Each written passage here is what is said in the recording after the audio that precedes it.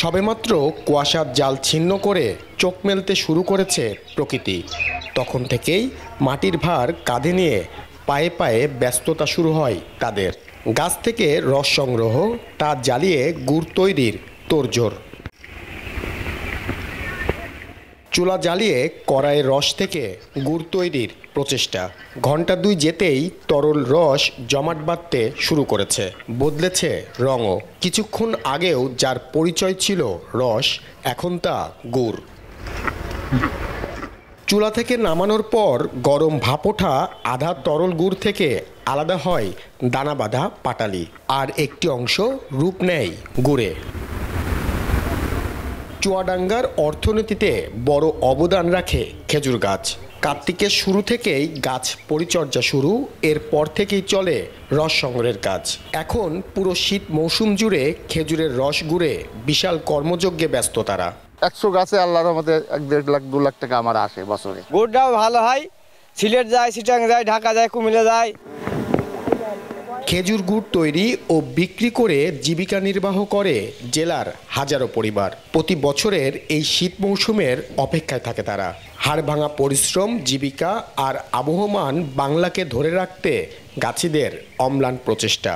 কার্তিক মাসেতে গাছ ঝুড়িয়ে আপনার চৈত মাস পর্যন্ত ইদিতে আরও ছ মাস বসে খাওয়া যায়। একশোটা গাছ আছে আমি ওই এক ভার রস পাইলে দেখা যাচ্ছে এক কেজি হয় না একটু কম হয় আর কি।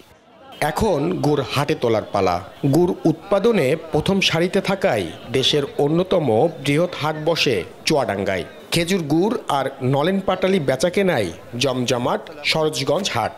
মাটির ভারবর্তী গুড়ের শাড়ি খেজুর গাছ করা আসলে একটু কষ্টের ব্যাপার তো গৃহস্থরা অত খেজুর গাছ দেখা গেছে করতে চায় না। আমরা সর্বোচ্চ বড় ওভারগুলো এবার আহ, বেচেছি তিন হাজার সপ্তাহে দুই দিন সোম ও শুক্রবার এই হাট বসে। ভোর থেকে সন্ধ্যা পর্যন্ত হাট ডাকে, মুখর থাকে হাট প্রাঙ্গণ।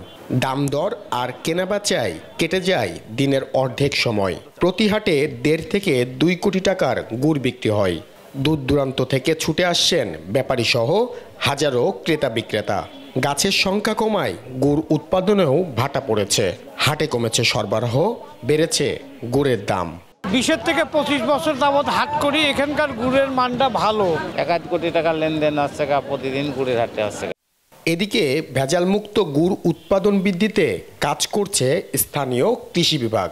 এজন্য গাছি ও কৃষকদের নানাভাবে পরামর্শ দেওয়া হচ্ছে বলে দাবি তাদের।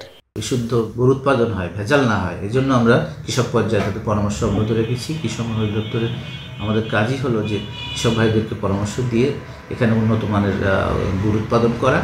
এবার চুয়াডাঙ্গায় রস সংগ্রহের জন্য প্রস্তুত প্রায় তিন লাখ গাছ, যা থেকে গুড় পাওয়া যাবে আড়াই হাজার টন। চলতি মৌসুমে পঁচিশ থেকে তিরিশ কোটি টাকার খেজুর গুড় বিক্রি হবে এই হাটে। অনিক চক্রবর্তী, এখন চুয়াডাঙ্গা।